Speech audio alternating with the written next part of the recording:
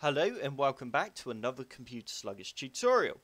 Before we get started, have you subscribed to my YouTube channel yet? If not, be sure to click on the big red subscribe button on my main page. And once you have done this, don't forget to click on that bell to be the first to get notified when I upload a new video. Yesterday I did a video showing you how to uninstall all the pre-installed Windows 10 apps. Well, I have been asked, how do you restore all the Windows 10 apps? Well, this is actually pretty simple to do. All you need to do is go back down to the bottom left hand corner of your screen and type in PowerShell. You now need to right click on Windows PowerShell and go run as administrator.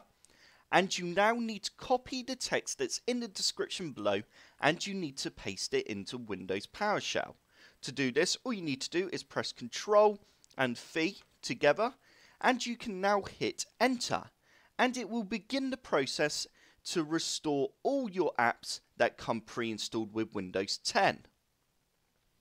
And once your screen looks like this, that means it's all finished. If we now go back down to the bottom left hand corner of our screen and open up our start menu, straight away as you can see under recently added, all my apps are now restored.